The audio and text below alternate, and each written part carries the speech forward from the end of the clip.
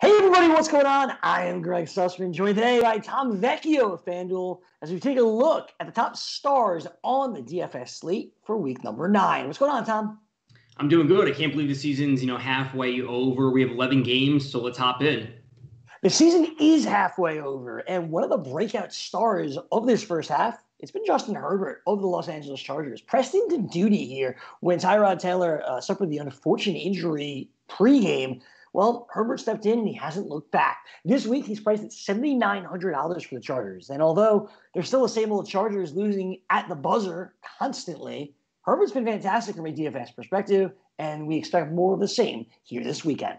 Absolutely. And, you know, I kind of like the fact that their defense is collapsing. You know, it might be tough on their fans, but from a fantasy perspective, it's actually pretty good because we know that the, you know, passing environment will always be there for him. And it's not like they're going to be constantly running the ball. And speaking of passing, he has 43 passing attempts or more in three of his past six or three of his only six games in the NFL. We have a solid over under against the Raiders sitting at 54. The Raiders are allowing 21.2 FanDuel points per game to opposing quarterbacks. That's the ninth worst in the league. We know that Herbert has the ability get the ball deep and, and, really rack up the touchdowns. He has three touchdowns or more in five of his six, excuse me, he has three touchdowns or more in four straight weeks and 23 FanDuel points or more in five of six starts. There's a lot going on here, right? We, we don't care about the defense. We care about all the passing, all the touchdowns, and really all the fantasy points for Herbert.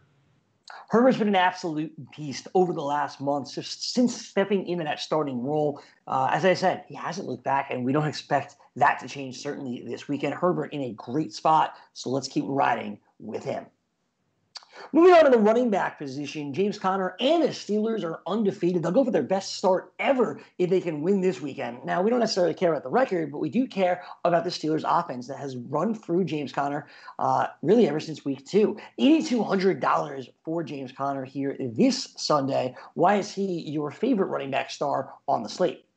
Yeah, uh, Conner's one of the players I really haven't been on too many times this season, but this spot just sets up it, it too good for them to pass up. They're on the road. They're up against Dallas. We see the Steelers with a 29 implied team total on the road, but really, there's no reason they shouldn't be controlling this game. We have seen, you know, Conner really be the bell cow back for the Steelers. He comes in with 18 total touches or more in six of his seven games this season. He can get it done on the ground. He can get it done a little bit in the air. We know Dallas is terrible on defense against running backs. They've actually allowed the most. Uh, rushing yards to opposing running backs this season, and they're allowing 23.1 FanDuel points per game to opposing running backs. So it doesn't matter that they're on the road. I would love for them to be at home, but really the Dallas defense is what we want to attack. Conner hasn't been one of your mainstays here that we've talked about uh, all that much, but with the running attack of Pittsburgh being so good, even though they're on the road, it's worth going to here in this spot. $8,200 for James Conner this Sunday. One more player to get to, and it's at the wide receiver spot. And it's Stefon Diggs of the Buffalo Bills, a Bills team that has certainly struggled over the past month in general. Diggs is priced at $7,600. Why is this the week that Josh Allen Stefon Diggs are really going to get it back on track?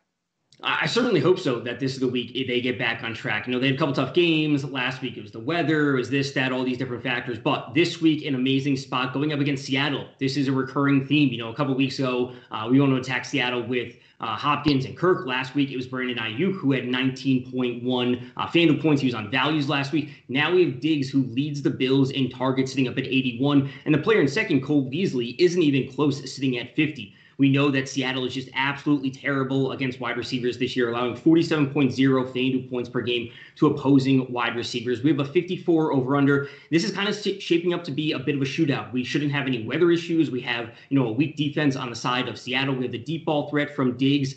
Uh, everything's lining up for him this week if the weather is right uh, for the Buffalo Bills, the matchup certainly is, and, and, hopefully things will get a bit better for Josh Allen and Stefon Diggs, who you, you, were able to rely on over the first couple of weeks. Had a bit of a setback, uh, a couple of stumbling blocks here with the schedule and the weather. This week is the week it all changes. We hope.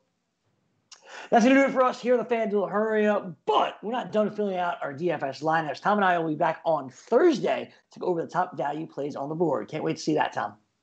Absolutely. Talk to you then.